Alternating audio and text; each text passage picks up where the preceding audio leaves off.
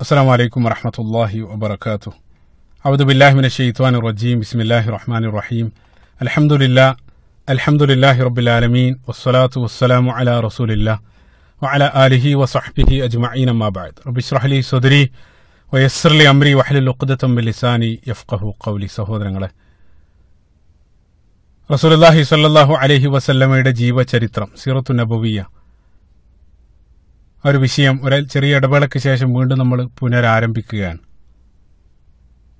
നമ്മൾ സംസാരിച്ചുകൊണ്ടിരിക്കുന്നത് മക്ക കാലഘട്ടത്തിലുള്ള പരസ്യപ്രബോധനം. ആ പരസ്യ പ്രബോധനം ആരംഭിച്ച സന്ദർഭത്തിൽ അതിനെ പ്രതിരോധിക്കാൻ വേണ്ടി ശത്രുക്കൾ വ്യത്യസ്ത രീതികൾ അവലംബിച്ചു. അതെല്ലാം പരാജയപ്പെട്ട സന്ദർഭത്തിൽ ശക്തമായിട്ടുള്ള പീഡനങ്ങൾ മുസ്ലിങ്ങൾക്കെതിരെ അവർ അടിച്ചുവിട്ടു. ആ പീഡനങ്ങൾ അസഹ്യമായ സന്ദർഭത്തിൽ മുസ്ലിങ്ങളിൽ നിന്നും വലിയൊരു വിഭാഗം ആളുകൾ അബിസീനയിലേക്ക് എത്യോപ്യയിലേക്ക് പലായനം ചെയ്തു. അതും അവരെ തടയാൻ ശ്രമിച്ചു. അവസാനം അവർ പരാജിതരായിട്ട് അവർ മടങ്ങി വരേണ്ട ചരിത്രമെല്ലാം നമ്മൾ പറഞ്ഞു കഴിഞ്ഞു. അപ്പൊ കുറേശികൾ എന്ത് തന്നെ ചെയ്തിട്ടും ആ സത്യത്തിന്റെ ഒഴുക്ക് ശക്തമായിട്ട് അത് തുടരുകയാണ്. ആ ഒഴുക്കിൽ അവരുടെ രണ്ട് വലിയ വൻമരങ്ങൾ കടപൊടുകിയ ചരിത്രം അതായത് ഉമർ ഖത്താബ് റതി അള്ളാഹുനുബിന്റെയും ഹംസ റതി അള്ളാഹുനുബിന്റെയും ഇസ്ലാം സ്വീകരണം അതായിരുന്നു കഴിഞ്ഞ ഭാഗത്ത് ഇരുപത്തിയേഴാമത്തെ ഭാഗത്ത് നമ്മൾ സൂചിപ്പിച്ചത്. അതുകൂടെ സംഭവിച്ചതോടുകൂടെ കുറേശികൾ അങ്ങേയറ്റം അസ്വസ്ഥമാവുകയാണ്. കാര്യങ്ങളെല്ലാം കൈവിട്ടു പോവുകയാണ്. പല സീറ ഗ്രന്ഥങ്ങളിലും കാണാൻ സാധിക്കും ഈ ഒരു ഘട്ടത്തിലാണ് നിരവധി അനുരഞ്ജന ശ്രമങ്ങളുമായിട്ട് കുറേശികൾ റസൂലി സല്ലാ അലിസ്ലമയെയും അബൂ ത്വാലിബിനെയെല്ലാം സമീപിച്ചതെന്ന് ഈ ഒരു സന്ദർഭത്തിലായിരുന്നെന്ന് ചില സീറ ഗ്രന്ഥങ്ങളിൽ ആ ഒരു ഓർഡറിലും സൂചിപ്പിച്ചതായിട്ട് കാണാൻ സാധിക്കും. ഏതായാലും അതെല്ലാം നമ്മൾ നേരത്തെ തന്നെ ഇരുപത്തിയൊന്നാമത്തെ ഭാഗത്ത് അതെല്ലാം വിശദമായിട്ട് നമ്മൾ സൂചിപ്പിച്ചിട്ടുണ്ട്. ഒഴുത്തുബത്ത് ബിൻ റബിയായെ റസൂലി സല്ലാ അലിസ്ലിനോട് അടുത്തേക്ക് അയക്കുന്നതും റസൂലുള്ള അവസാനം പരിശുദ്ധ ഖുറാനിൽ സൂറത്ത് ഫുസ്സലത്ത് പാരായണം ചെയ്ത സന്ദർഭത്തിൽ അദ്ദേഹം വായപൊത്തി ആ ചരിത്രമെല്ലാം നേരത്തെ തന്നെ നമ്മൾ സൂചിപ്പിച്ചിട്ടുണ്ട്. ഏതായാലും ഈ ഒരു ഈ രൂപത്തിൽ അതായത് ഉമർ ഖത്താബ് റതി അള്ളാഹുനുബിന്റെയും ഹംസാർ റതി അള്ളാഹുനുബിന്റെയും ഇസ്ലാം സ്വീകരണം അതോടുകൂടെ കുറേശികൾ കുറേശികൾ അങ്ങേയറ്റം അസ്വസ്ഥമായി നുപൂവത്തിന്റെ ഏഴാം വർഷം മുഹറ മാസം അബൂജഹലിന്റെ നേതൃത്വത്തിൽ കുറേശികൾ ഒന്നടങ്കം ഒത്തുചേർന്ന് അവർ അവർ അവരെ ഒത്തുചേർന്ന് ശക്തമായിട്ടൊരു നടപടി അവർ സ്വീകരിക്കാൻ വേണ്ടി തീരുമാനിക്കുകയാണ്. നടപടി മറ്റൊന്നല്ല അവർ അവസാനം അവരെത്തിച്ചേർന്ന ഏക പോംവടി റസൂലി സല്ലാഹു അലൈഹി സ്വലം മുഹമ്മദിനെ വധിക്കുക. അത് മാത്രമാണ് ഇതിന് ഇത് തടയാനുള്ള ഏക പോംവഴി അതായിരുന്നു അവസാനം അവരെത്തിച്ചേർന്ന തീരുമാനം. റസൂലി സല്ലാ അലൈഹി സ്വലം നേരിട്ട് പോയി വധിക്കാൻ പറ്റില്ല. ബനു ഹാസിം ഗോത്രക്കാർ വിട്ടുതരില്ല. എങ്കിലും അവസാനമായിട്ട് ഒന്നുകൂടെ അബൂ താലിബിനെ സമീപിച്ചുകൊണ്ട് കാര്യം പറഞ്ഞു നോക്കുക. അവർ നിരവധി തവണ അബൂ താലിബിനെ സമീപിച്ചിട്ടുണ്ട്. ആ സന്ദർഭത്തിലൊന്നും അവരുടെ ആവശ്യങ്ങൾക്ക് അബൂ താലിബ് മടങ്ങിയിരുന്നില്ല. പക്ഷെ അതുപോലെയല്ല ഈ ഒരു ഘട്ടം. നേരത്തെ പോയ സന്ദർഭത്തിലെല്ലാം അബൂ താലിബിന് മുമ്പിൽ അവർ രണ്ട് ചോയ്സ് വെച്ചു കൊടുത്തിരുന്നു. അദ്ദേഹം അത് അത് അത് സ്വീകരിക്കാതിരുന്ന സന്ദർഭത്തിലും ശക്തമായിട്ട് നടപടിയൊന്നും നേരത്തെ സ്വീകരിച്ചിട്ടുണ്ടായിരുന്നില്ല. പക്ഷേ ഈ ഒരു സന്ദർഭത്തിൽ അവർ നേരത്തെ ഓൾറെഡി അവർ തീരുമാനം എടുത്തു കഴിഞ്ഞിട്ടുണ്ട്. ഒന്നുകിൽ ആ തീരുമാനം അബൂ ത്വാലിബ് അംഗീകരിക്കുക അതല്ലെങ്കിൽ ആ നടപടിക്ക് വിധേയമാവുക. ആ രൂപത്തിലുള്ള ഒരു നിലപാട് സ്വീകരിച്ചുകൊണ്ടാണ് അവസാനമായിട്ട് അവർ അബൂ ത്വാലിബിനെ സമീപിക്കുന്നത്. അവർ അബ ത്വാലിബിന്റെ അടുത്ത് പോയിട്ട് അവർ കാര്യം പറഞ്ഞു. അതായത് ഈ രൂപത്തിലാണ് ഞങ്ങൾ തീരുമാനിച്ചിട്ടുള്ളത്. മുഹമ്മദിനെ സല്ലാ അലൈഹി സ്വലം ഞങ്ങൾക്ക് വിട്ടുതരണം അദ്ദേഹത്തെ വധിക്കുന്നത് ഏതായാലും ഖുറൈശി ഗോത്രക്കാരാകില്ല. അത് ഏറ്റവും മോശമുള്ള കാര്യമാണ്. സ്വന്തം ഗോത്രക്കാർ അവരുടെ അനുയായികളെ വധിക്കുക എന്നുള്ളത് അവർക്ക് പരിചയമില്ലാത്തൊരു കാര്യമാണ്. അപ്പോൾ അവർ പറഞ്ഞു ആ ഒരു കൃത്യം നിർവഹിക്കാൻ വേണ്ടി പുറത്തുള്ള ആരെങ്കിലും ഞങ്ങൾ കൊണ്ടുവരും. അതൊന്നും നിങ്ങൾ പേടിക്കേണ്ടതില്ല. മുഹമ്മദിനെ സല്ലാ അലൈഹി ഞങ്ങൾക്ക് വിട്ടുതരിക വേണ്ട പണം ഞങ്ങൾ നൽകാം. ഇനി അതിന് നിങ്ങൾ വടങ്ങുന്നില്ലെങ്കിൽ കുറേശി ഗോത്രത്തിൽ നിന്നും ബനു ഹാഷിമുകാരെ ബനുൽ മുത്തലിബുകാരെ ഈ സമൂഹത്തിൽ നിന്നും ഉപരോധം നിങ്ങൾക്കെതിരെ ഏർപ്പെടുത്താൻ നിങ്ങളെ ഒറ്റപ്പെടുത്താനാണ് ഞങ്ങൾ തീരുമാനിച്ചിട്ടുള്ളത്. ഒന്നുകിൽ മുഹമ്മദിനെ ഞങ്ങൾക്ക് വിട്ട് സല്ലാ അലൈഹി സ്വലം അതല്ലെങ്കിൽ ആ ഉപരോധത്തിന് നിങ്ങൾ വിധേയമാവുക. ഈ രണ്ട് ചോയ്സ് മാത്രം. അത് അവർ അബൂ താലിബിന് മുമ്പിൽ വെക്കുകയാണ് ചിന്തിച്ചു നോക്കുക. മക്കയുടെ ചരിത്രത്തിൽ ആദ്യമായിട്ടാണ് ഒരു ഗോത്രം തങ്ങളുടെ അനുയായികൾക്കെതിരെ അത്രയും അത്രയും ശക്തമായിട്ട് നടപടി സ്വീകരിക്കുന്നത്. ആ സന്ദർഭത്തിലും അബൂ താലിബ് തന്റെ ആ പഴയ നിലപാടിൽ നിന്ന് ഉറച്ചു നിൽക്കുകയാണ്. അദ്ദേഹം പറഞ്ഞു ഒരിക്കലും ഈ ഒരു ക്രൂരതയ്ക്ക് ഞാൻ മുഹമ്മദിനെ സല്ലാ അലൈഹി വിട്ടുതരില്ല. നിങ്ങൾക്ക് വേണ്ടത് നിങ്ങൾക്ക് ചെയ്യാം. ആ ഒരു മറുപടിയിലൂടെ ആ ഉപരോധം ഏറ്റെടുക്കാൻ അദ്ദേഹം സ്വയം സന്നദ്ധാവാണ് അദ്ദേഹം മാത്രമല്ല ആ ഗോത്രം. അതോടുകൂടെ കുറേശികൾ ആ ഉപരോധം ശക്തമായിട്ടുള്ള ഉപരോധം ബനുൽ മുത്തലിബ് ബനു ഹാസിം ഗോത്രക്കാർക്കെതിരെ ഏർപ്പെടുത്തുകയാണ് ഉപരോധം രണ്ട് രൂപത്തിൽ സാമ്പത്തികവും സാമൂഹികവുമായിട്ടുള്ള ഉപരോധം സോഷ്യൽ ആൻഡ് എക്കണോമിക് ബോയ്ക്കോട്ട്. സാമ്പത്തിക ഉപരോധം ഉദ്ദേശിക്കുന്നത് ബനുഹാസിം ഗോത്രക്കാരുമായിട്ട് ഇനി ഒരാളും കച്ചവട ബന്ധത്തിൽ ഏർപ്പെടാൻ പാടില്ല. ബനുഹാസിം ഗോത്രത്തിൽപ്പെട്ട ഒരാളോടും ഇനി അവരോട് വിൽക്കാനോ അവരിൽ നിന്ന് വാങ്ങാനോ ഒരാൾ പാടില്ല. നേരത്തെ പറഞ്ഞു മക്കാരെ സംബന്ധിച്ചിടത്തോളം അവരുടെ ഏക ഉപജീവന മാർഗം എന്നുള്ളത് കച്ചവടമാണ്. ആ കച്ചവടം ബനു ഹാസിം ഗോത്രക്കാരോട് ഇനി ഒരാൾ നടത്താൻ പാടില്ല. അതാണ് ഉപരോധത്തിന്റെ ഒന്നാമത്തെ ഒന്നാമത്തെ രീതി. അതേപോലെ തന്നെ രണ്ടാമത് സാമൂഹികമായിട്ടുള്ള ഉപരോധം കൊണ്ട് ഉദ്ദേശിക്കുന്നത് ബനു ഗോത്രക്കാരുമായിട്ട് ഇനി ഒരാളും വിവാഹ ബന്ധത്തിൽ ഏർപ്പെടാൻ പാടില്ല. അത് മാത്രമല്ല മറ്റൊരു വിവാഹത്തിലേക്കും അവരെ ക്ഷണിക്കാൻ പാടില്ല അവരെ സംസാരിക്കാൻ പാടില്ല അവരെ ഒരർത്ഥത്തിലും ഒരാളും ഇനി സഹായിക്കാൻ പാടില്ല. ആ രൂപത്തിലുള്ള ഉപരോധാണ് ബനു ഹാഷിം ഗോത്രക്കാർക്കെതിരെ കുറേശികൾ സ്വീകരിച്ചത്. ഒന്നുകിൽ ഹാസിം കുടുംബം മുഹമ്മദിനെ സല്ലാ അലൈഹി ഞങ്ങൾക്ക് വിട്ടുതരണം. അതല്ലെങ്കിൽ റസൂലി സല്ലാ അലൈഹി ആ പ്രബോധനം അവിടെ നിർത്തണം. അതായത് ഇനി ഇസ്ലാം ഇവിടെ പറയാൻ പാടില്ല. അത് നിർത്തുന്നത് വരെ ആ ഉപരോധം ബനുഹാജിം ഗോത്രക്കാരുടെ മീതെ തുടരും. അതായിരുന്നു കുറേശികൾ എടുത്ത തീരുമാനം. ആ തീരുമാനം വെറുതെ കേവലം വായ കൊണ്ട് പറയാൻ മാത്രമല്ല കുറേശി പ്രമ നാൽപ്പതോളം വരുന്ന കുറേശി പ്രമാണിമാര് ആധികാരികമായിട്ട് അവരെടുത്ത തീരുമാനങ്ങളെല്ലാം എഴുതി അത് എഴുതിയതും രസകരാണ്. ബിസ്മിക്കല്ലാം അള്ളാഹു സുബാനത്തിന്റെ നാമത്തിലാണ് അവർ അത് ആരംഭിച്ചത്. അതെല്ലാം എഴുതിയതിന് ശേഷം അവരെല്ലാം ഒപ്പുവെച്ച് അവരെഴുതിയ ആ കരാറ് അത് ഭദ്രമായിട്ടൊരു പൗച്ചിലിട്ട് കബാലയത്തിനകത്ത് അകത്ത് അത് ഭദ്രമായി സൂക്ഷിച്ചതിന് ശേഷം അവർ കബാലയം പൂട്ടി എന്നുള്ളതാണ്. അപ്പൊ കബാലയത്തിനകത്ത് വെച്ചത് തന്നെ ആ കരാറിന്റെ അവർ കൊടുത്ത പ്രാധാന്യം കൃത്യമായിട്ട് കാണിച്ചിരുന്നുണ്ട്. അത്രയേറെ പവിത്രമായിട്ട് കുറേച്ചുകൾ പോലും കൽപ്പി കൽപ്പിക്കപ്പെട്ടിരുന്ന. അല്ലെങ്കിൽ അവർ കണക്കാക്കിയിട്ടുള്ള ആ കബാലയത്തിനകത്താണ് അത് സൂക്ഷിച്ചത്. അത് തന്നെ അവർ ആ കരാറിന് നൽകിയ പ്രാധാന്യം കൃത്യമായിട്ട് കാണിച്ചിരുന്നുണ്ട്. ഇതേ രൂപത്തിലുള്ള നടപടി കുറേശികൾ ബനു ഹാഷിം ബനു ബനുൽ മുത്തലിബ് ഗോത്രത്തിനെതിരെ അവർ കൈക്കൊണ്ടെന്ന് അറിഞ്ഞ ഉടനെ തന്നെ അബൂ ത്വാലിബ് ബനു ഹാഷിം ഗോത്രക്കാരെ മൊത്തം തന്റെ വീട്ടിലേക്ക് വിളിച്ചുകൂട്ടി. വിളിച്ചുകൂട്ടിയതിന് ശേഷം കാര്യം പറഞ്ഞു. അതായത് ഇതേ രൂപത്തിൽ കുറേശികൾ നമ്മളെ ഒറ്റപ്പെടുത്താൻ തീരുമാനിച്ചിട്ടുണ്ട്. ഈ രൂപത്തിൽ ഈ സമൂഹത്തിൽ അവർക്കിടയിൽ ജീവിക്കുന്നതിനേക്കാൾ നല്ലത് നമ്മൾ മാത്രമായിട്ട് മറ്റൊരിടത്തേക്ക് മാറി താമസിക്കുന്നതാണ് നമുക്ക് നല്ലത്. അവർ അവഗണനയും സ്വീകരിച്ച് ഈ സമൂഹത്തിൽ ജീവിക്കാൻ വയ്യ. ഇപ്പൊ ബനുൽ മുത്തലിബ് ഗോത്രം ഒന്നടങ്കം അവിടെ നിന്നും മാറി താമസിക്കാൻ അവർ തീരുമാനിക്കണം. പ്രത്യേകം മനസ്സിലാക്കണം മുസ്ലിമുഹും വ കാഫിറും അവർക്കിടയിലുള്ള റസൂലി സല്ലാ അലൈസ്ലമിൽ വിശ്വസിച്ച ബനു ഹാസിം ഗോത്രക്കാർ മാത്രമല്ല. നമുക്കറിയാം അബൂ താലിബ് റസൂലി സല്ലാ അലൈസ്ലമയിൽ വിശ്വസിച്ചിട്ടില്ല. അപ്പൊ വിശ്വസിച്ച ആളുകളും വിശ്വസിക്കാത്ത ആളുകളും ഒന്നടങ്കം ബനു ഹാസിം ഗോത്രക്കാർ മുഴുവൻ അവരുടെ കയ്യിലുള്ള സമ്പത്തെല്ലാം എടുക്കാവുന്ന സമ്പത്തെല്ലാം എടുത്തുകൊണ്ട് അവർ മറ്റൊരു സ്ഥലത്തേക്ക് മാറി താമസിക്കുകയാണ് മറ്റൊരു സ്ഥലം എന്ന് വെച്ചാൽ മക്കയുടെ പുറത്ത് മക്കയുടെ പുറത്തുള്ള ഒഴിഞ്ഞ നിരവധി പ്രദേശങ്ങളുണ്ട്. അത് ഓരോ പ്രദേശങ്ങളും മക്കയിലെ പ്രധാനപ്പെട്ട ഓരോ ഗോത്രക്കാർക്ക് അവകാശപ്പെട്ടതാണ്. അപ്പൊ ബനു ഹാസിം ഗോത്രക്കാർക്ക് അവകാശപ്പെട്ട ഒരു ഒരു വാലി ഒരു ഷെബ് ഒരു താഴ്വര മക്കൾക്ക് പുറത്തുണ്ട്. ആ താഴ്വരയിലേക്ക് ഒന്നടങ്കം ബനു ഹാസിം ഗോത്രക്കാര് താമസം മാറുകയാണ്. ആ താഴ്വര പിൻകാലഘട്ടത്ത് അറിയപ്പെട്ടത് ഷെഅബ് അബീ ത്വാലിബ്. അബീ ത്വാലിബിന്റെ താഴ്വര എന്നുള്ള പേരിലാണ് പിൻകാലഘട്ടത്ത് അറിയപ്പെട്ടത്. അപ്പൊ ബനു ഹാഷിം ഗോത്രക്കാർ മൊത്തം അങ്ങോട്ട് താമസം മാറി ഒരാൾ ഒഴികെ. ആ ഒരാൾ ആരാണെന്ന് ഞാൻ പറഞ്ഞു തരേണ്ടതില്ല. ഊഹിച്ചാൽ തന്നെ കിട്ടും അബൂലഹബ് അബൂലഹബ് മാത്രം അതിൽ നിന്ന് വിട്ടുന്നു അദ്ദേഹം അദ്ദേഹം കുറേശികളോട് പറഞ്ഞു ആ നിങ്ങൾ എടുത്ത തീരുമാനം ഏതായാലും നന്നായി. ഞാനും നിങ്ങളോടൊപ്പം ഉണ്ട് ചിന്തിച്ചോക്കോ സ്വന്തം ഗോത്രത്തെ തള്ളിപ്പറഞ്ഞ് റസൂൽ അല്ലാഹി സ്വല്ലാസിനോട് ഉള്ള ആ ഒരു ശത്രുത കാരണം അദ്ദേഹം കുറേശികളോടൊപ്പം ചേരുകയാണ്. അതുകൊണ്ടാണ് ആ പരിശുദ്ധ ഖുറാനിലെല്ലാം സൂറത്തുൽ ഹബിലെല്ലാം നേരത്തെ നമ്മൾ വിശദീകരിച്ചാണ്. അദ്ദേഹം മാത്രം വിട്ടുനിന്ന് മറ്റുള്ള ആളുകൾ ഒന്നടങ്കം ആ താഴ്വരയിലേക്ക് താമസം മാറുകയാണ് പിന്നീട് വലിയൊരു കാലഘട്ടം ആ താഴ്വരയിൽ അവർ ജീവിക്കേണ്ടി വരികയാണ്. ആദ്യത്തിലെല്ലാം അവർ കൊണ്ടുവന്ന ഭക്ഷണ പദാർത്ഥങ്ങളും സമ്പത്തെല്ലാം ഉപയോഗിച്ച് അവർ കഴിഞ്ഞുകൂടി. പക്ഷേ ദിവസങ്ങൾ പിന്നിടുന്നതിനനുസരിച്ച് അവരുടെ കയ്യിലുള്ളതെല്ലാം തീരാൻ തുടങ്ങി. ഓരോ ആളുകളും കയ്യിലുള്ള മൊത്തം സമ്പത്തും ചെലവഴിച്ചു. ഖദീജ റലി അള്ളാഹു ബൻഹയെ സംബന്ധിച്ച് നേരത്തെ ഞാൻ പറഞ്ഞു അവർ മക്കയിലെ ഏറ്റവും സമ്പന്ന സ്ത്രീയായിരുന്നു.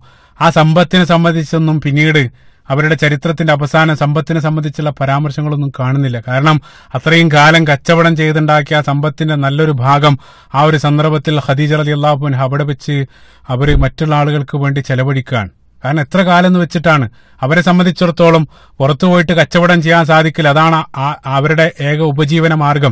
ഇപ്പൊ ഇൻകമിംഗ് ഒന്നുമില്ല. അവരുടെ കയ്യിലുള്ളത് മുഴുവൻ അവർ ആ സന്ദർഭത്തിൽ ഓരോ ആളുകളും ചെലവഴിച്ചുകൊണ്ടിരിക്കുകയാണ്. പ്രത്യേകം മനസ്സിലാക്കണം.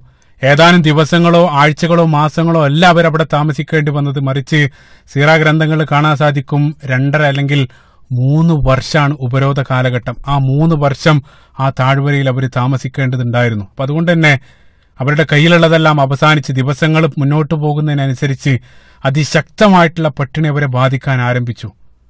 ആ ഒരു കാലഘട്ടത്തിൽ അവർ കടന്നുപോയിട്ടുള്ള അവസ്ഥകൾ പലതും നമ്മൾ വായിക്കുന്ന സന്ദർഭത്തിൽ ഏതൊരാളെയും കരളലിയിപ്പിക്കുന്ന നിരവധി അനുഭവങ്ങൾ ആ സന്ദർഭത്തിൽ അവർക്ക് ഏറ്റുവാങ്ങേണ്ടി വന്നു എന്നുള്ളതാണ്. പട്ടിണിയുടെ കാഠിന്യം കാരണം ബിലാലിബിന് റബാഹ് അള്ളാഹുനു പറയാണ് പട്ടിണിയുടെ കാഠിന്യം കാരണം ആ താഴ്വരയിലുള്ള വൃക്ഷങ്ങളുടെ ഇലകൾ ഞങ്ങൾ ഭക്ഷിച്ചു അതിന്റെ തോലുകളെല്ലാം ഭക്ഷിച്ച അവസാനം ഞങ്ങളുടെ വിസർജ്യങ്ങൾ ആടുകളെപ്പോലെ അതേ രൂപത്തിലായി മാറി എന്നുള്ളതാണ്. അതേപോലെ തന്നെ മറ്റൊരു ഉദ്ധരണിയിൽ സാജിബിൻ ബിൻ അബി വക്കാസ് അലി അള്ളാഹു അനുഭവം അദ്ദേഹം പറയാണ് ഒരു രാത്രി പട്ടിണി കാരണം എത്ര രാത്രി ഏറെ വൈകിട്ട് എനിക്ക് ഉറക്ക കിട്ടുന്നില്ല. ഉറക്ക കിട്ടാതെ ഞാൻ അവിടെ കിടന്ന് അവസാനം ഒരുപാട് സമയം കഴിഞ്ഞപ്പോൾ ഞാൻ മൂത്രമൊഴിക്കാൻ വേണ്ടി എഴുന്നേറ്റു. എഴുന്നേറ്റ് ദൂരേക്ക് പോയി ഞാൻ മൂത്രം ഒഴിച്ചു കൊണ്ടിരിക്കുന്ന സന്ദർഭത്തിൽ ആ മൂത്രം ചെന്ന് വീഴുന്നത് അത് അത് നിലത്തല്ല. മറ്റെന്തോ ഒരു സാധനത്തിന്റെ പുറത്താണെന്ന് ശബ്ദം കേട്ട സന്ദർഭത്തിൽ എനിക്ക് മനസ്സിലായി. ഉടനെ തന്നെ അദ്ദേഹം പോയ തപ്പി നോക്കിയ സന്ദർഭത്തിൽ അതൊരു ഒട്ടകത്തിന്റെ തോലാണ്. ഏതോ ഒരു സന്ദർഭത്തിൽ ആ താഴ്വരയിൽ വെച്ച് ചത്തുപോയ ഒട്ടകത്തിന്റെ ഉണങ്ങിയ ഒരു തോലിന്റെ കഷ്ണാണ്. ഉടനെ തന്നെ ബിൻ അബി വക്കാസ് റളിയല്ലാഹു പറയാണ് ഞാനത് എടുത്തു കൊണ്ടുവന്ന് അത് വൃത്തിയായി നന്നാക്കി കഴുകിയതിന് ശേഷം വെള്ളത്തിലിട്ട് തിളപ്പിച്ച് അത് ചെറിയ കഷ്ണങ്ങളാക്കി അത് ഭക്ഷിച്ച് പിന്നീട് മൂന്ന് ദിവസത്തിന് എന്റെ ഭക്ഷണം അതായിരുന്നു. അത്രയേറെ ശക്തമായിട്ടുള്ള പട്ടിണിയിലൂടെ അവർ കടന്നു പോകേണ്ടി വന്നു എന്നുള്ളതാണ്. പല സന്ദർഭത്തിൽ ആ പട്ടിണി കാരണം സീറ ഗ്രന്ഥങ്ങളിൽ വായിക്കാൻ സാധിക്കും. ഹത്താഖാന യുസ്മഅു അസ്വാത്തു സുബിയാനിഹിമിൻ മിനൽ ജൂ അതായത് ബനുഹാസിമിലെ പിഞ്ചു കുഞ്ഞുങ്ങൾ വിശന്ന് കരയുന്നത് ആ താഴ്വരയിൽ നിന്നും വളരെ വിദൂരത്തേക്ക് കേൾക്കാൻ സാധിച്ചിരുന്നു. പിഞ്ചു കുഞ്ഞുങ്ങളുടെ വിശന്ന് വിശന്നുള്ള കരച്ചിൽ എത്രയോ ദൂരത്തേക്ക് അവർക്ക് കേൾക്കായിരുന്നു. അത്രയേറെ ശക്തമായിട്ടുള്ള പട്ടിണിക്ക് അവർ വിധേയമായി. ആ ഒരു പിഞ്ചു കുഞ്ഞുങ്ങളുടെ കരച്ചിലെല്ലാം റസൂലി അലൈഹി വസല്ലം എത്രത്തോളം റസൂലിനെ വേദനിപ്പിച്ചിട്ടുണ്ടാകും ചിന്തിച്ചു നോക്കുക. നമസ്കാരത്തിൽ പോലും നമസ്കരിക്കുന്ന സന്ദർഭത്തിൽ പോലും കുട്ടികളുടെ കരച്ചിൽ കേൾക്കുന്ന സന്ദർഭത്തിൽ റസൂലുല്ലാഹി സ്വല്ലല്ലാഹു അലൈഹി വസല്ലം പെട്ടെന്ന് നമസ്കാരം അവസാനിപ്പിക്കുമായിരുന്നു. അതേ സന്ദർഭത്തിൽ വിശന്നുള്ള ആ കുഞ്ഞുങ്ങളുടെ കരച്ചിൽ റസൂലുല്ലാഹി സ്വല്ലല്ലാഹു അലൈഹി വസല്ലമയെ എത്രത്തോളം വേദനിപ്പിച്ച് കാണണം. ആ പ്രവാചകൻ സല്ലാ അലൈഹി വസല്ലം ആ വേദന കാരണം ആ കരാർ എഴുതിയ വ്യക്തിക്കെതിരെ റസൂലുല്ലാഹി സ്വല്ലല്ലാഹു അലൈഹി വസല്ലം അവിടെ വെച്ചുകൊണ്ട് കൈ ഉയർത്തുകയാണ്. ആ കരാർ എഴുതിയത് മൻസൂർ ഇബിൻ ഇക്രിമ. ചില സീറ ഗ്രന്ഥങ്ങളിൽ ലല്ലർ ബിൻ ഹാരിദ് ഈ രണ്ടിലേതോ ഒരു വ്യക്തിയാണ് ആ കരാർ എഴുതിയത്. റസൂലുല്ലാഹി സ്വല്ലല്ലാഹു അലൈഹി വസല്ലം ആ കരാർ എഴുതിയ വ്യക്തിക്കെതിരെ പ്രാർത്ഥിച്ചു. ആ പ്രാർത്ഥന കാരണം ആ എഴുതിയ വ്യക്തിയുടെ കൈകൾ തളർന്നുപോയി. ആ കൈയിന്റെ സ്വാധീനം നഷ്ടപ്പെട്ടു എന്നുള്ളതാണ്. പിന്നീട് മരണം വരെ ആ കൈ അദ്ദേഹത്തിന് ഉയർത്താൻ സാധിച്ചിട്ടില്ല എന്നുള്ളതാണ്. അത്രയേറെ ശക്തമായിട്ടുള്ള പട്ടിണിയാണ് അവിടെ. കാരണം അവരെ സംബന്ധിച്ചിടത്തോളം നേരത്തെ ഞാൻ പറഞ്ഞു മക്കാരിൽ നിന്ന് അവർക്ക് ഒരു സാധനം വാങ്ങാൻ പറ്റില്ല. അതേ സന്ദർഭത്തിൽ മക്കയിലേക്ക് പുറത്തുള്ള ആളുകൾ മക്കയിലേക്ക് കച്ചവട ആവശ്യാർത്ഥം വരുന്നുണ്ട്. ഹജ്ജിനും മുമ്രക്കെല്ലാം വരുന്ന സന്ദർഭത്തിൽ അവർ വരുന്ന സന്ദർഭത്തിൽ അബൂജാലും കൂട്ടരും പോയിട്ട് അവരോട് ആദ്യം തന്നെ വാണിംഗ് കൊടുക്കും ആ താഴ്വരയിൽ ജീവിക്കുന്ന ഒരാൾക്ക് നിങ്ങൾ വിൽക്കാൻ പാടില്ല. അവരുമായിട്ട് യാതൊരു കച്ചവടം പാടില്ല. പ്രത്യേകമായിട്ട് അവരെ നിർദ്ദേശിക്കും. ഇനി ഏതെങ്കിലും ഒരാൾ വാങ്ങാൻ വരുന്ന സന്ദർഭത്തിൽ അബൂജാൽ അത് പോയിട്ട് ആ കച്ചവടം മുടക്കും. അതായത് അയാൾ നൽകുന്നതിന്റെ രണ്ടോ മൂന്നോ ഇരട്ടി തുക നൽകി അബൂജാൽ വേണ്ടെങ്കിൽ ആ സാധനം വാങ്ങുമെന്നുള്ള എന്നാലും മുസ്ലിങ്ങളിലേക്ക് ആ സാധനം എത്താൻ പാടില്ല. അത്രയും വലിയ പിടിവാശിയായിരുന്നു അബൂജഹൽ ഉണ്ടായിരുന്നത്. സുബാനല്ല ചിന്തിച്ചു നോക്ക് നിങ്ങൾ എത്ര വലിയ ക്രൂരതയാണ് റസൂലി സല്ലാ അലൈഹി സ്വലമക്കും അനുയായികൾക്കെതിരെ ശത്രുക്കൾ പ്രയോഗിച്ചത്.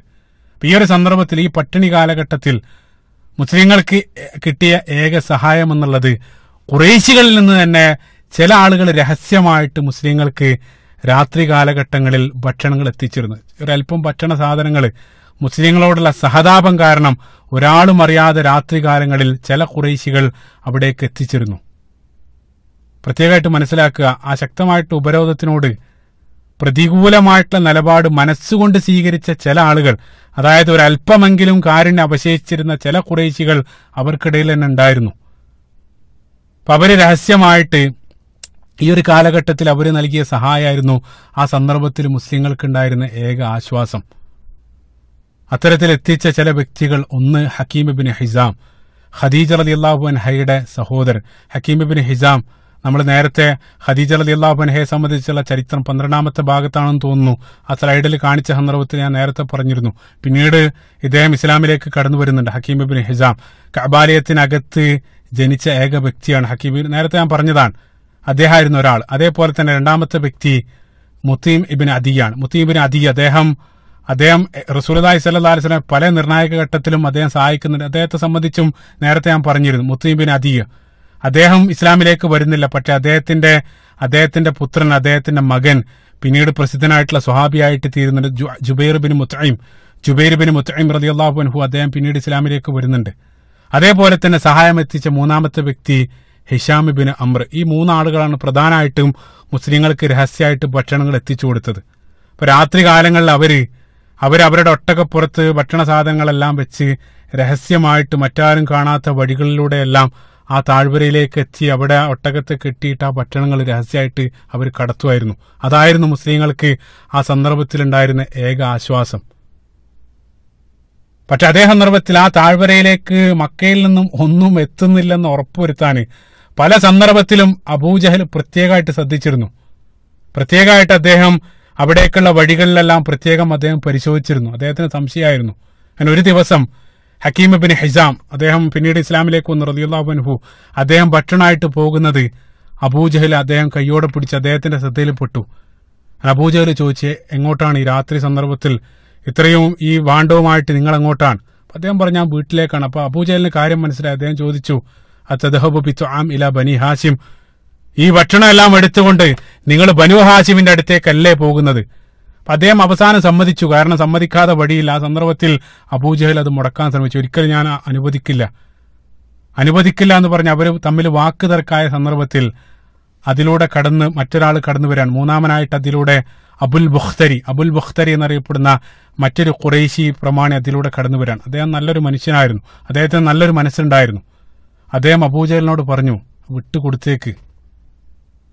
അത് അദ്ദേഹം കൊണ്ടുവന്ന് മറ്റാർക്കുമല്ല. ഹദീജ റലി അള്ളാഹുബൻഹയുടെ പിതൃ സഹോദരപുത്രനാണ്. അപ്പൊ അവർ പറയാണ് പിതൃ സഹോദരിക്ക് വേണ്ടിയല്ല കൊണ്ടുപോകുന്നത്. എന്തിനാണ് ഇങ്ങനെ തടയുന്നത്? അതേ രൂപത്തിൽ അബുൽ ബുഖ്തർ ഇടപെട്ട് അവസാനം ആ ഭക്ഷണം കൊണ്ടുപോകാൻ അവസാനം അനുവദിക്കുകയാണ്.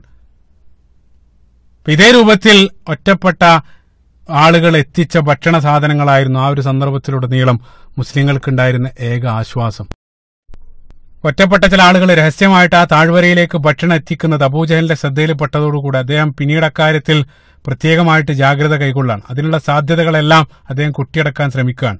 അതോടുകൂടെ മുസ്ലിങ്ങളുടെ മുസ്ലിങ്ങളുടെ പ്രയാസങ്ങൾ ആ താഴ്വരയിൽ വർദ്ധിച്ചു വരാൻ പട്ടിണിയും പരിവട്ടും വർദ്ധിക്കാൻ.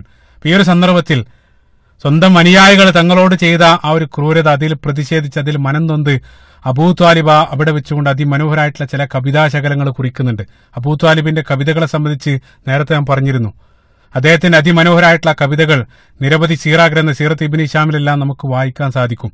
അബൂ ത്വാലിബിന്റെ കവിതകളെ സംബന്ധിച്ച് ഹാഫിദ് ഇബിൻ കസീർ അഹമ്മദായി പോലെയുള്ള പണ്ഡിതന്മാർ അബൂ ത്വാലിബിന്റെ കവിതകൾ ജാഹിലിയ കാലഘട്ടത്തെ പ്രസിദ്ധമായിട്ടുള്ള മുഅല്ലഖാത്തു സെബയേക്കാൾ മനോഹരങ്ങളായിരുന്നു എന്ന് സൂചിപ്പിച്ചതായിട്ട് കാണാൻ സാധിക്കും. കാരണം അത് ശൈലിയിൽ മാത്രമല്ല ആശയ സമ്പുഷ്ടതയിലും അബൂ ത്വാലിബിന്റെ കവിതകളായിരുന്നു മുന്നിട്ട് നിന്നത്. കാരണം ജാഹിലിയ കാലഘട്ടത്തിലുള്ള കവിതകളുടെ പ്രമേയം ആ അത്തരം കവിതകൾ പ്രമേയമാക്കിയിരുന്നത് സ്ത്രീകളും മദ്യവും അതേപോലെ തന്നെ പ്രേമം ഇതായിരുന്നു അക്കാലഘട്ടത്തിലുള്ള അക്കാലഘട്ടത്തെ കവിതയുടെ പ്രമേയ വിഷയങ്ങൾ. പക്ഷേ അബൂതാലിബിന്റെ കവിതകൾ അത് സ്വന്തം ബന്ധുക്കൾ തങ്ങൾക്കെതിരെ സ്വീകരിച്ച നിലപാടിൽ മനംതൊന്ത് ഹൃദയം കൊണ്ട് രചിക്കപ്പെട്ട മനോഹരമായിട്ടുള്ള രചനകളാണ്. അതിമനോഹരമായിട്ടുള്ള കവിതകൾ. പ്രത്യേകം മനസ്സിലാക്കുക കവിത എന്നുള്ളത് അത് അക്കാലഘട്ടത്തെ പ്രതിഷേധ സ്വരം കൂടെയാണ്. അതായത് ഇക്കാലഘട്ടത്ത് ഒരാളും ശ്രദ്ധിക്കപ്പെടാത്തൊരു വിഷയം നമ്മൾ മീഡിയയിലൂടെ പുറത്തു കൊണ്ടുവരുന്നത് പോലെ എന്തൊരു സമൂഹത്തിന്റെ ശ്രദ്ധ അതിലേക്ക് ആകർഷിക്കുന്നത് പോലെ. അതല്ലെങ്കിൽ സോഷ്യൽ മീഡിയയിലുള്ള പ്രതിഷേധം അല്ലെങ്കിൽ ഒരു ഗ്രന്ഥ രചിക്കുന്നതിന് സമാനമായിട്ടുള്ള പ്രവൃത്തിയാണ് അക്കാലഘട്ടത്തെ കവിതകൾ. അബൂ താലിബ് കവിത രചിക്കുക മാത്രമല്ല അതേപോലെ തന്നെ റസൂൽ അവിടെ താമസിച്ച ആ മൂന്ന് വർഷക്കാലഘട്ടത്തിലുടനീളം റസൂൽ അല്ലാഹി സ്വല്ലാസ്ലയുടെ കാര്യത്തിൽ അദ്ദേഹം പ്രത്യേകം ജാഗ്രത കൈകൊണ്ടു റസൂൽ അല്ലാഹി സ്വല്ലാ വസ്ലമയെ ആരെങ്കിലും ആരെങ്കിലും വന്ന് രഹസ്യമായിട്ട് ആക്രമിക്കും എന്നുള്ള ഭയം കാരണം പല സന്ദർഭത്തിലും അബൂ താലിബ് റസൂൽ അള്ളാഹി സ്വല്ലാ വസ്ലമെ സ്വന്തം വിരിപ്പിൽ കടത്തുമായിരുന്നു. അള്ളാഹി അലൈഹി വസ്ലം മാറ്റി മാറ്റി സ്ഥലം നിരന്തരം മാറ്റിക്കൊണ്ടിരുന്നു കാരണം ആ ഒരു ഭയം കാരണം. പക്ഷേ അള്ളാഹി അലൈഹി വസ്ലം ആ ഒരു സന്ദർഭത്തിലുടനീളം ഹജ്ജ് കാലത്തിലും മറ്റും മക്കയിലേക്ക് പുറത്തുനിന്ന് വരുന്ന ആ ഗോത്രക്കാർക്കിടയിലേക്കെല്ലാം ഇറങ്ങി റസൂലുള്ളാഹി സല്ലാഹു അലൈഹി വസല്ലം ആ പ്രബോധനം തുടർന്നുകൊണ്ടിരുന്നു. പക്ഷേ ഞാൻ പറഞ്ഞു ദിവസങ്ങൾ പിന്നിടുന്നതിനനുസരിച്ച് മുസ്ലിങ്ങളുടെ അവസ്ഥ അങ്ങേയറ്റം മോശമായിട്ട് വരികയാണ്. അപ്പൊ ബനു ഹാഷിമിന്റെ ഒരു അവസ്ഥയിൽ മക്കയിലുണ്ടായിരുന്ന പല ആളുകൾക്കും ദയ തോന്നി. കാരണം ഒരുപാട് കാലം പിന്നിട്ടു. കരാറിനെ പ്രതികൂല പ്രതികൂലിക്കുന്ന ചില ആളുകൾ കുറേശികൾക്കിടയിൽ തന്നെ ഉണ്ടായിരുന്നു. നേരത്തെ ഭക്ഷണം എത്തിച്ച ആളുകളെ സംബന്ധിച്ച് പറഞ്ഞു. അപ്പൊ അവർ തന്നെ അവർ തന്നെ തീരുമാനിക്കണം. എന്തെങ്കിലും ഒന്ന് ചെയ്തേ തീരൂ. ഒരുപാട് കാലമായി ഇത് തുടരുന്നു. എന്തെങ്കിലും ഒന്ന് എന്തെങ്കിലും ഒന്ന് ചെയ്തേ തീരൂ എന്ന് അവർ തന്നെ അതിന് അതിന് മുൻകൈ എടുത്തിറങ്ങാൻ ആദ്യമായിട്ട് അതിനെതിരെ പ്രതികരിക്കാൻ വേണ്ടി ഇറങ്ങിയ വ്യക്തി അല്ലെങ്കിൽ ആ കരാറിനെതിരെ എന്തെങ്കിലും ഒന്ന് ചെയ്യാൻ വേണ്ടി ആദ്യമായിട്ട് ഇറങ്ങി പുറപ്പെട്ട വ്യക്തി ഹിഷാം ഇബിന് അമ്രാൻ ഹിഷാം ഇബിൻ അമ്ര നേരത്തെ ഞാൻ പറഞ്ഞു രഹസ്യമായിട്ട് ഭക്ഷണം എത്തിച്ച വ്യക്തിയാണ്. അദ്ദേഹം അദ്ദേഹത്തിന് ഒറ്റക്കൊന്നും ചെയ്യാൻ കഴിയില്ല. അദ്ദേഹം ആദ്യം അദ്ദേഹം ചെയ്തത് ഈ കരാറിനെ പ്രതികൂലിക്കുന്ന ആളുകളെ മുഴുവൻ ആദ്യം ഒരുമിച്ച് കൂട്ടാനുള്ള ശ്രമം. അവരെ മുഴുവൻ ഒരു പ്ലാറ്റ്ഫോമിലേക്ക് കൊണ്ടുവരേണ്ടതുണ്ട്. അതിനുള്ള ശ്രമമാണ് ആദ്യം അദ്ദേഹം നടത്തിയത്. അതിനുവേണ്ടി ആദ്യം ഹിഷാം ബിൻ അമ്ര സമീപിച്ചത് മഖ്സൂം ഗോത്രക്കാരനായ Zuhair bin Abi ഉമയ്യയാണ്. Zuhair ibn Abi Umayya. Makhzum എന്നുള്ളത് ബനു മഖ്സൂം അബൂജഹലിന്റെ ഗോത്രാണ് എന്തിനാണ് അബൂജഹലിന്റെ ഗോത്രക്കാരന്റെ അടുത്തേക്ക് അദ്ദേഹം പോയത്? ആദ്യമായിട്ട് അദ്ദേഹം പോയത്. അതിനുള്ള അതിനുള്ള ഉത്തരം എന്താന്ന് വെച്ചാൽ ഈ സുഹൈർ ബിൻ അബി ഉമയ്യ എന്നുള്ളത് അദ്ദേഹം ബനു മഖ്സൂം ഗോത്രക്കാരനാണ്. പക്ഷേ അദ്ദേഹത്തിന്റെ മാതാവ് അബ്ദുൽ മുത്തലിബിന്റെ മകളായ ആത്തിക്കയാണ് ആത്തിക്കയാണ്. ആത്തിക്ക അലൈഹി വസല്ലമയുടെ അമ്മായിയായിട്ട് വരും. അതായത് സുഹൈർ ബിൻ അബി ഉമ്മയ്യ എന്നുള്ളത് റസൂലുള്ളാഹിന്റെ അമ്മായിയുടെ മകനാണ്.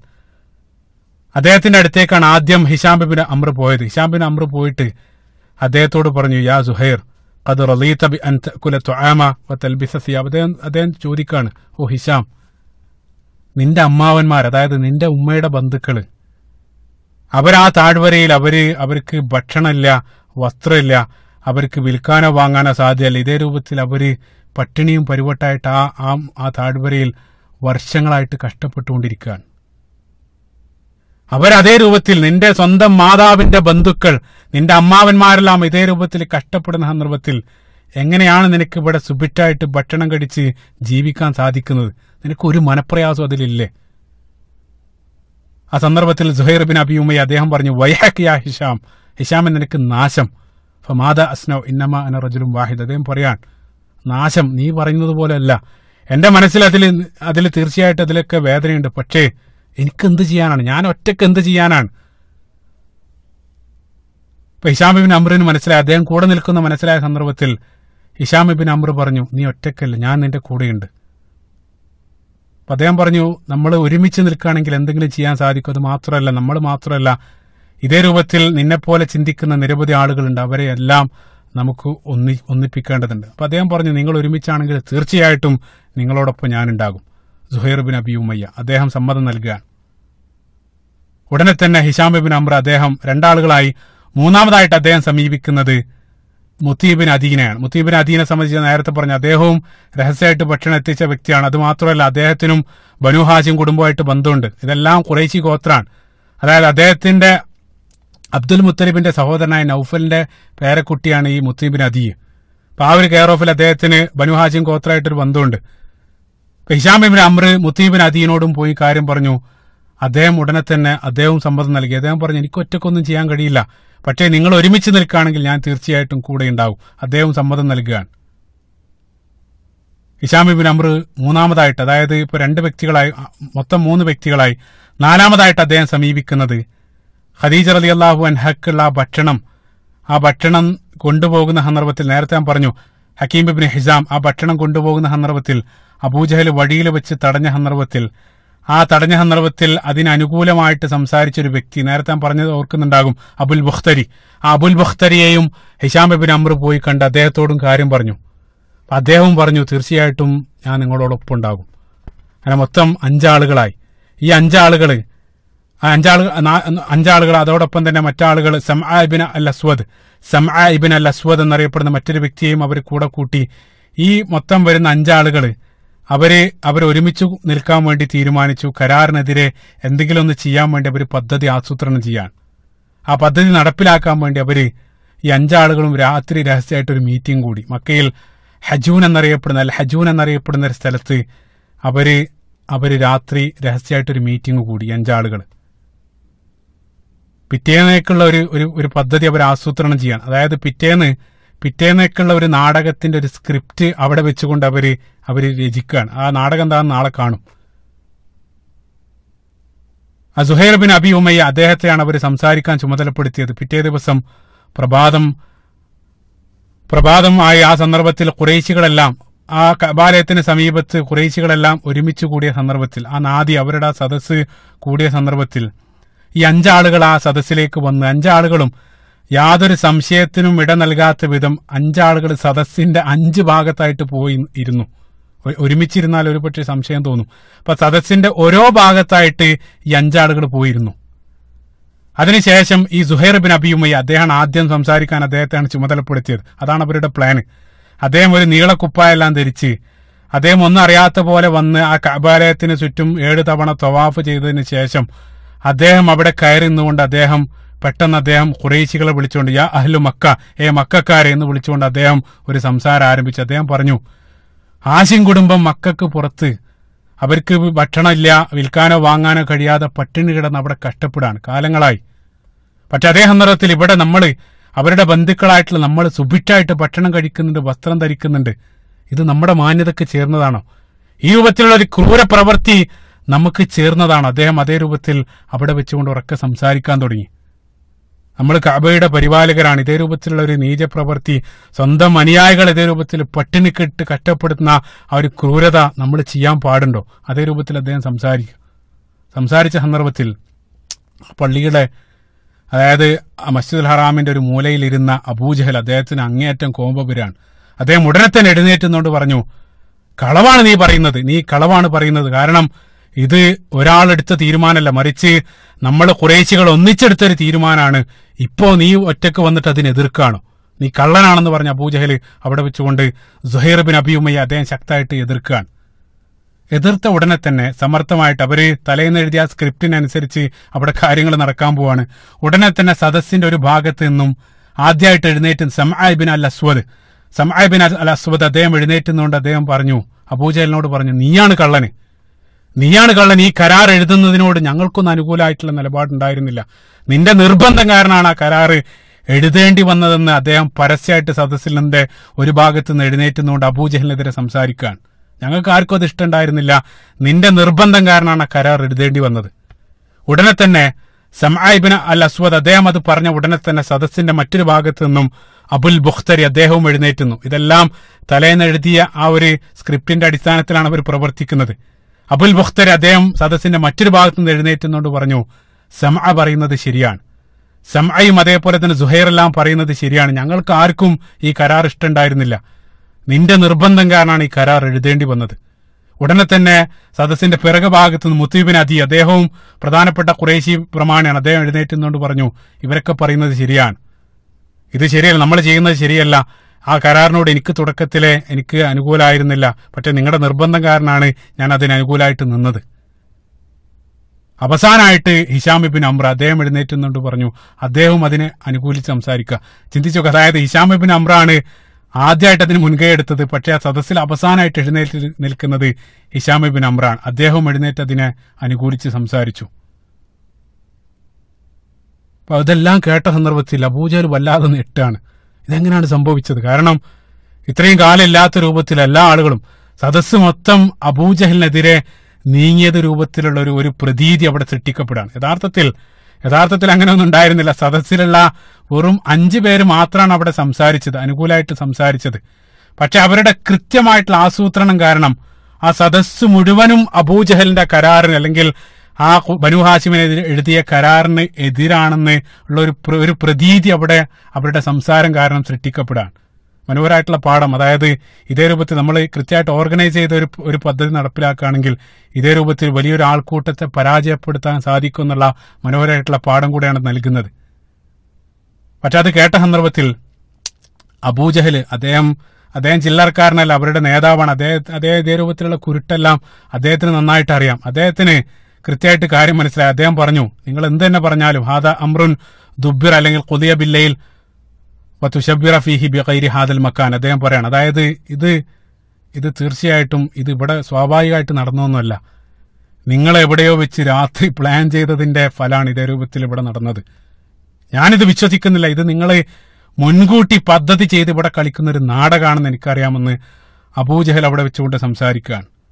ഏതായാലും അബൂജയിൽ പറഞ്ഞത് ശരിയായിരുന്നു. പക്ഷെ അവരതിനെ അനുകൂലിച്ചുകൊണ്ട് ഇതേ രൂപത്തിൽ അവരവിടെ സംസാരിച്ചുകൊണ്ടിരിക്കുന്ന സന്ദർഭത്തിൽ അവിടേക്ക് അബൂ ത്വാലിബ് നടന്നു വരികയാണ്. രണ്ട് ഉദ്ധരണികൾ ഞാൻ ചേർത്ത് വെക്കുകയാണ്. ഇത് രണ്ടും രണ്ട് സംഭവങ്ങളായിട്ട് കാണാൻ സാധിക്കും. പക്ഷെ ഒരുമിച്ച് ഇവിടെ സൂചിപ്പിക്കുന്ന മാത്രം. രണ്ട് രൂപത്തിലുള്ള ഉദ്ധരണികളാണ്. ഒരു ഉദ്ധരണിയിൽ അവർ അതേ രൂപത്തിൽ സംസാരിച്ച് നേരെ പോയി കഅബ തുറന്ന ആ കരാർ പുറത്തെടുത്തു എന്നാണ് ഒരു ഉദ്ധരണിയിൽ കാണാൻ സാധിക്കുക. പക്ഷേ സീറത്ത് ഇബിനിഷാമിലുള്ള ഉദ്ധരണി അവരവിടെ സംസാരിച്ചുകൊണ്ടിരിക്കുന്ന സന്ദർഭത്തിൽ അബൂ ത്വാലിബ് ദൂരെ നിന്ന് നടന്നു വരുന്നതായിട്ട് അവർ കാണുകയാണ്. അബൂ താലിബ് അങ്ങോട്ട് നടന്നു വരാൻ ഒരു കാരണമുണ്ട്. ആ കാരണം എന്താണെന്നുള്ളത് ഒരല്പം നമ്മൾ റിവൈൻഡ് എടുക്കുക. അതായത് അബൂ താലിബിനോട് റസൂലി സല്ലാ അലൈവല്ലം ഒരല്പം മുമ്പ് അതായത് ഒരു ദിവസം മുമ്പ് റസൂലി സല്ലാ അലൈവല്ലം പറഞ്ഞു കബാലയത്തിന്റെ ഉള്ളിൽ അവർ ഭദ്രമായിട്ട് സൂക്ഷിക്കപ്പെട്ട ആ കരാർ അത് എഴുതിയ ആ സ്വഹൈഫ് അത് ചിതലുകൾ ചിതലുകൾ തിന്നതായിട്ടുള്ള വിവരം എനിക്ക് വഹയിലൂടെ ലഭിച്ചിട്ടുണ്ട്. റസൂലി സല്ലാ അലൈവല്ലം അബൂ താലിബിനോട് പറയാൻ അതായത് കുറേശികൾ ബനു ഹാഷിമിനെ എഴുതിയ എതിരെ എഴുതിയ ആ കരാറ് ചിതലുകൾ തിന്ന് നശിപ്പിച്ചതായിട്ടുള്ള വഹിയെ എനിക്ക് ലഭിച്ചിട്ടുണ്ടെന്ന് റസൂലി സല്ലാ അലൈവല്ലം അബൂ താലിബിനെ പിടിച്ച് കാര്യം പറഞ്ഞു. ആ സന്ദർഭത്തിൽ അബൂ താലിബ് ചിന്തിച്ചു. അബൂ താലിബ് ഉടനെ തന്നെ ചോദിച്ചു നിന്റെ നാഥൻ നിനക്ക് നൽകിയ വിവരത്തിന്റെ അടിസ്ഥാനത്തിലാണോ നീ പറയുന്നത്? അപ്പോൾ റസൂലി സല്ലാ അതെ.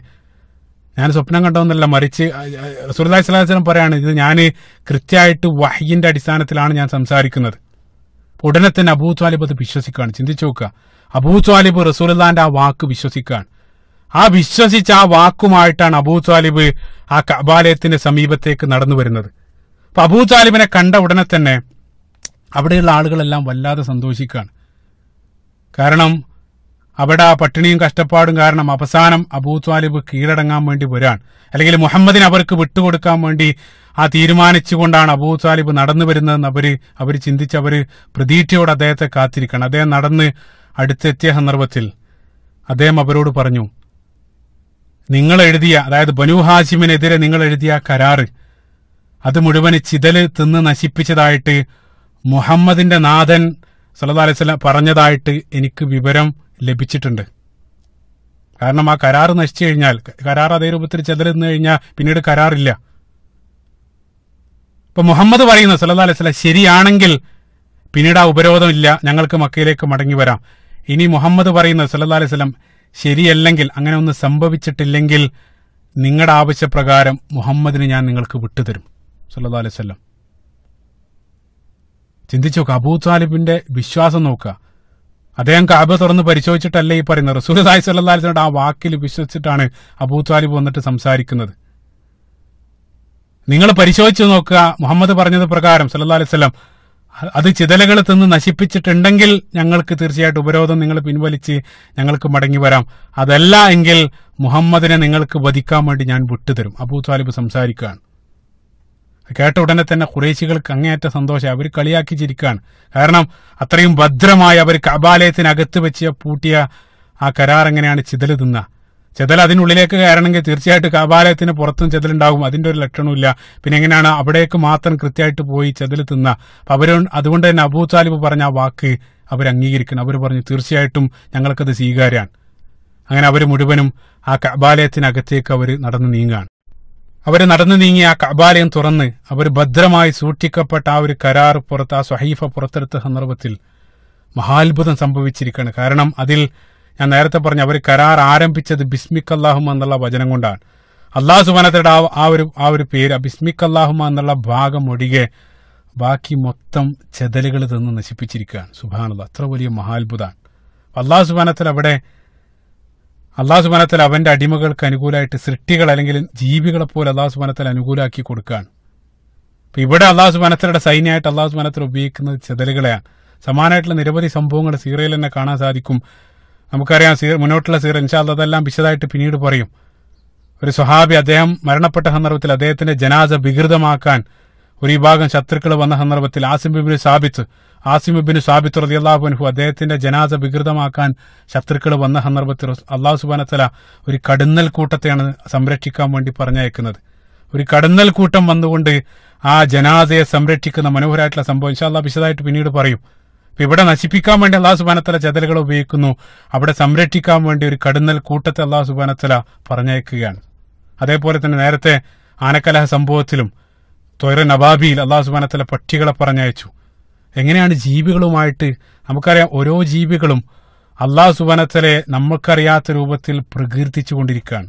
അള്ളാഹു സുബാനത്തല അവരുമായിട്ട് അവർക്ക് കൽപ്പന. അപ്പൊ പരിശുദ്ധ ഖുറാൻ തന്നെ തേനീച്ചകളെ സംബന്ധിച്ച് പറഞ്ഞ സന്ദർഭത്തിൽ സൂറത്ത് നഹലിന്റെ അറുപത്തെട്ടാമത്തെ ആയത്തിൽ റബ്ബുക്ക റബ്ബുക ഇല നഹൽ. അള്ളാഹു സുബാനത്തല തേനീച്ചകൾക്ക് വഹി നൽകി. വഹി എന്നുള്ളത് പ്രത്യേക രൂപത്തിലുള്ള കൽപ്പനയാണ്. അള്ളാഹു അലം. അതേ രൂപത്തിലുള്ള കൽപ്പനകാരൻ ആ ഇതേ രൂപത്തിൽ ചെതലുകൾ വന്നിട്ട് ആ കരാറ് മുഴുവൻ പറ്റിച്ചു കഴിഞ്ഞിരിക്കുകയാണ്. അത് മുഴുവൻ കണ്ണുകൊണ്ട് ആ ജനത കാണുകയാണ്. ചിന്തിച്ചു നോക്കുക അതിലും വലിയ അത്ഭുതം എതിലും വലിയ ദൃഷ്ടാന്തം എന്താണ് അവർക്ക് വിശ്വസിക്കാൻ വേണ്ടത്? അതിനേക്കാൾ അത്ഭുതം എന്താ വെച്ചാൽ അതിൽ മുന്നിൽ നിൽക്കുന്ന അബൂ ത്വാലിബ് അദ്ദേഹം റസൂലി സ്വല്ലാസ്ലമിൽ വിശ്വസിച്ചത് പറഞ്ഞത് കണ്ണുകൊണ്ട് നേരിട്ട് കാണാൻ. പക്ഷെ അത് കണ്ട ഉടനെ തന്നെ ആ ജനത അവർ പഴയപടി അവർ ഉടനെ തന്നെ പറഞ്ഞു ഇത് മുഹമ്മദ് ചെയ്ത സിഹറാണ്. നഊദുബില്ല സല്ലല്ലാഹു അലൈഹി സ്വലം ഇതാണ് അവർ ചെയ്തത് അവർ പറഞ്ഞത്. പരിശുദ്ധ ഖുർആൻ അവരുടെ നിലപാടുകളെ സംബന്ധിച്ച് അള്ളാഹു സുബാനത്തല സൂറത്തുൽ ഖമറിന്റെ രണ്ടാമത്തെ ആയത്തിൽ അള്ളാഹു സുബാനത്തല ആയത്തൻ യുഅരിദു വയഖൂലു സിഹറും മുസ്തമിർ. അള്ളാഹു സുബാനത്തല പറയുന്നുണ്ട് ഏതൊരു ദൃഷ്ടാന്തം അവർ കണ്ടാലും എന്ത് തന്നെ അവർ കണ്ടുകൊണ്ട് കണ്ടാലും അവർ പിന്തിരിഞ്ഞു കളയും. ആ കണ്ടതിനെ സംബന്ധിച്ച് അതെല്ലാം സിഹറാണ് അത് ജാലവിദ്യയാണെന്ന് പറഞ്ഞുകൊണ്ട് അവർ പിന്മാറുമെന്ന് അള്ളാഹു സുബാനത്തല അവരെ സംബന്ധിച്ചാണ് പറയുന്നത്. ചെതലുകൾ തിന്ന് നശിപ്പിച്ചിരിക്കുകയാണ്. നമുക്കറിയാം അതോടുകൂടെ തന്നെ ആ കരാർ റദ്ദായി. അതോടുകൂടെ അവർ പറഞ്ഞ ആ വാക്കനുസരിച്ച് ആ കരാർ പിൻവലിക്കപ്പെട്ടു. ഉപരോധം കഴിഞ്ഞ് മുസ്ലിങ്ങൾ മുഴുവൻ മക്കയിലേക്ക് തിരിച്ചെത്തുകയാണ്. മക്കയിലേക്ക് തിരിച്ചെത്തി. പക്ഷേ മക്കയിലും റസൂലി സല്ലാ വസ്ലമയെ കാത്തിരിക്കുന്നത് റസൂലി സല്ലാ അലിസ്ലയുടെ ജീവചരിത്രത്തിൽ അല്ലെങ്കിൽ ആ സീറയിൽ ഏറ്റവും റസൂലുള്ളാഹിക്ക് പ്രയാസകരമായിട്ട് ചില നിമിഷങ്ങളാണ് റസൂലുള്ളാഹി സല്ലല്ലാഹു അലൈഹി വസല്ലമയെ പിന്നീട് കാത്തിരിക്കുന്നത്. അതിലേക്ക് നമ്മൾ പ്രവേശിക്കുന്നതിന് മുമ്പ് ഈ ഉപരോധ കാലഘട്ടം അത് നൽകുന്ന മനോഹരമായിട്ടുള്ള ചില പാഠങ്ങളുണ്ട്. എന്തുകൊണ്ട് നിങ്ങൾ ചിന്തിച്ചു നോക്കുക എന്തുകൊണ്ടാണ് ഇത്രയും പ്രയാസകരമായിട്ടുള്ള ഒരു സാഹചര്യത്തിലൂടെ വിശ്വസിക്കപ്പെട്ട റസൂലുള്ളാഹി സ്വല്ലല്ലാഹു അലൈഹി ഹബീബായിട്ടുള്ള പ്രവാചകനും അനുയായികളും കടന്നു പോകേണ്ടത് കടന്നു പോകേണ്ടി വന്നത്? അതിലുള്ളൊരു യുക്തി ചിന്തിച്ചു നോക്കുക അതായത് റസൂലുള്ളാഹി സ്വല്ലല്ലാഹു അലൈഹി വസല്ലം കടന്നുപോയ അതേ പാതയിലൂടെ അല്ലെങ്കിൽ അതേ പ്രയാസത്തിലൂടെ ഖിയാമത്ത് നാൾ വരെ സമാനമായിട്ട് വിശ്വാസികൾ ഒരുപക്ഷെ ലോകത്തിന്റെ വ്യത്യസ്ത ഭാഗത്ത് കടന്നു പോകേണ്ടി വന്നേക്കാം. ആ സന്ദർഭത്തിൽ അവർക്കുള്ള മാതൃക റസൂലുള്ളാഹി സല്ലാ അലൈഹി വസല്ലമയും അനുയായികളാണ്. മുസ്ലിം ആയതിന്റെ പേരിൽ വിശ്വാസം സ്വീകരിച്ചതിന്റെ പേരിൽ മാത്രം നിങ്ങളുടെ കുടുംബത്തിൽ നിന്ന് നിങ്ങളെ ബഹിഷ്കരിക്കപ്പെടുന്ന സന്ദർഭത്തിൽ സമൂഹത്തിൽ നിന്ന് നിങ്ങളെ ബഹിഷ്കരിക്കപ്പെടുന്ന സന്ദർഭത്തിൽ രാജ്യത്തിൽ നിന്ന് നിങ്ങളെ ബഹിഷ്കരിക്കപ്പെടുന്ന സന്ദർഭത്തിൽ ഈ രാജ്യത്ത് നിങ്ങൾ ജീവിക്കാൻ കൊള്ളുന്നവരല്ല നിങ്ങൾ പൗരന്മാരല്ല എന്ന് പറഞ്ഞുകൊണ്ട് നിങ്ങളെ പിന്തള്ളുന്ന സന്ദർഭത്തിൽ ആശ്വസിക്ക വിശ്വാസികളായിട്ടുള്ള ആളുകൾക്ക് ആശ്വസിക്കാനുള്ള അതായത് ഹബീബായിട്ടുള്ള റസൂലി സല്ലാ അലൈസ്ലമയും അതേ പാതയിലൂടെ നടന്നു പോയിട്ടുണ്ട്. നന്മ മാത്രം ആ സമൂഹത്തിന് പ്രവർത്തിച്ച ആ റസൂലി സല്ലാ അലൈഹി അമീനായിട്ടുള്ള റസൂലുള്ള ആ വിശ്വാസം സ്വീകരിച്ച് അത് പ്രബോധനം ചെയ്തു എന്നുള്ളതിന്റെ പേരിൽ മാത്രം അത്രയും ക്രൂരമായിട്ടുള്ള അനുഭവങ്ങളിലൂടെ റസൂലി സല്ലാ അലൈഹി സ്വല്ലം പോലും കടന്നു പോകേണ്ടി വന്നിട്ടുണ്ടെങ്കിൽ അവസാന നാൾ വരെയുള്ള വിശ്വാസികൾക്ക് ആ ഒരു അനുഭവം റസൂലിന്റെ അനുഭവം നൽകുന്ന തണുപ്പ് എത്രയാണ്? സുബാനല്ല അള്ളാഹു സുബാനത്തല വിശ്വാസം സ്വീകരിച്ചതിന്റെ പേരിൽ മാത്രം ഇതേ രൂപത്തിലേക്ക് പ്രയാസപ്പെടുന്ന ആളുകൾ നമ്മുടെ രാജ്യത്തും പുറത്തുള്ള ആളുകൾക്ക് അള്ളാഹു സുബാനത്തല എളുപ്പം പ്രദാനം ചെയ്യുമാറാകട്ടെ. അള്ളാഹു മാമീൻ ആത്മാർത്ഥമായിട്ട് അവർക്ക് വേണ്ടി പ്രാർത്ഥിക്കുക. അതേപോലെ തന്നെ മറ്റൊരു പ്രധാനപ്പെട്ട പോയിന്റ്. ശത്രുക്കൾ ഒരിക്കലും തുല്യരല്ല. ശത്രുക്കൾ എന്ന് പറഞ്ഞുകൊണ്ട് ആ ശത്രുക്കളെ മുഴുവൻ ഒരു ബ്രഷ് കൊണ്ട് നമുക്ക് പെയിന്റ് ചെയ്യാൻ സാധ്യമല്ല. കാരണം ശത്രുക്കൾക്കിടയിലും മുസ്ലിങ്ങളോട് അനുകൂലമായിട്ട് സ്വീ നിലപാട് സ്വീകരിക്കുന്ന നിരവധി ആളുകൾ ഉണ്ടാകും. അവരോട് നമ്മൾ നമ്മൾ സ്വീകരിക്കേണ്ട സമീപനം വേറെയാണ്. ഈ ന്യൂനപക്ഷം വരുന്ന ന്യൂനാൽ ന്യൂനപക്ഷം വരുന്ന ആളുകൾക്ക് നമ്മളോടുള്ള വെറുപ്പ് കാരണം ഭൂരിപക്ഷം വരുന്ന നിഷ്കളങ്കരായിട്ടുള്ള സമൂഹത്തോട് ഒരിക്കലും അനീതി പ്രവർത്തിക്കാൻ മുസ്ലിങ്ങൾക്ക് അത് പ്രേരകമായി തീരരുത്. പരിശുദ്ധ ഖുർആൻ വളരെ കൃത്യമായിട്ട് മുസ്ലിങ്ങളോട് ഉപദേശിച്ച കാര്യമാണത്. അള്ളാഹു സുബാനത്തല ബനു ഇസ്രായേലിന്റെ ചരിത്രം പറഞ്ഞ സന്ദർഭത്തിൽ തന്നെ ക്രൈസ്തവരായിട്ടുള്ള ആളുകളെ സംബന്ധിച്ച് അള്ളാഹു സുബാനത്തല പറഞ്ഞ സന്ദർഭത്തിൽ സൂറത്ത് ആലിമ്രാൻ ലൈസു സബ അവർ മുഴുവൻ തുല്യരല്ല. ഒരല്പം ആളുകൾ ഇതേ രൂപത്തിലുള്ള നിലപാടുകൾ സ്വീകരിക്കുന്നുണ്ട് അല്ലെങ്കിൽ മുസ്ലിങ്ങളെ ശത്രുക്കളായിട്ട് കാണുന്നുണ്ടെന്ന് കരുതി ഭൂരിപക്ഷം വരുന്ന ആളുകൾ അവർ നിഷ്കളങ്കരാണ്. അവർ നിരപരാധികളാണ്. അവരോട് ന്യൂനപക്ഷത്തിന്റെ പ്രവൃത്തിയുടെ പേരിൽ അനീതി ചെയ്യാൻ ഒരു മുസ്ലിമിനും പാടില്ല. പക്ഷെ തിരിച്ച് നമുക്കറിയാം. തിരിച്ച് നമ്മൾ ചിന്തിക്കുന്ന സന്ദർഭത്തിൽ മുസ്ലിങ്ങളിൽപ്പെട്ട ഒരു ശതമാനത്തിന് താഴെ വരുന്ന നാമമാത്ര നാമമാത്ര മുസ്ലിം നാമധാരികളായിട്ടുള്ള ചില ആളുകൾ ഇസ്ലാം മനസ്സിലാക്കാത്ത ചില ആളുകൾ നിഷ്കളങ്കരായിട്ടുള്ള ചില ആളുകളെ ഓരോ പേരും പറഞ്ഞ് വധിക്കുന്ന സന്ദർഭത്തിൽ ആ ഒരു ശതമാനത്തിന്റെ പ്രവൃത്തിയെടുത്ത് ലോകത്ത് വരുന്ന തൊണ്ണൂറ്റൊമ്പത് ശതമാനം നിഷ്കളങ്കരായിട്ടുള്ള മുസ്ലിങ്ങളെ മുഴുവൻ ഭീകരവാദികളായിട്ട് മുദ്ര കുത്തുന്ന സന്ദർഭത്തിൽ സമാനമായിട്ട് നിലപാട് ഒരിക്കലും നമ്മൾ അവരോട് സ്വീകരിക്കാൻ പാടില്ല എന്നുള്ള. ഇപ്പൊ റസൂൽദാന്റെ ചരിത്രത്തിൽ മക്കാ കാലഘട്ടത്തിൽ മക്കാ കാലഘട്ടത്തിൽ നമുക്കറിയാം ഇതേ രൂപത്തിൽ ഉപരോധം അവിടെ ഏർപ്പെടുത്തിയ സന്ദർഭത്തിലും അവിടെ ഉണ്ടായിരുന്ന അനുകൂലമായിട്ടുള്ള നിലപാട് സ്വീകരിച്ച അബുൽ ബുഖ്തരി അല്ലെങ്കിൽ സം അൽ അസ്വദ് അബൂ താലിബിനെ പോലെ അല്ലെങ്കിൽ മുത്തുബിൻ അദീനെ പോലെ അതേ സുഹൈർ ബിൻ അബി ഉമ്മയെ ഇതേ രൂപത്തിലുള്ള ചില ചില എണ്ണപ്പെട്ട ആളുകൾ മുസ്ലിങ്ങളുടെ അവകാശത്തിന് വേണ്ടി അവർ മുസ്ലിം ഇസ്ലാം സ്വീകരിച്ചിട്ടില്ല അവിശ്വാസികളായിട്ടുള്ള അവർ മുസ്ലിങ്ങളുടെ അവകാശത്തിന് വേണ്ടി സംസാരിക്കുന്നതും മുസ്ലിങ്ങൾക്ക് രഹസ്യമായിട്ട് സഹായം വരെ എത്തിക്കുന്ന ചരിത്രം നമ്മൾ അവിടെ കണ്ടു.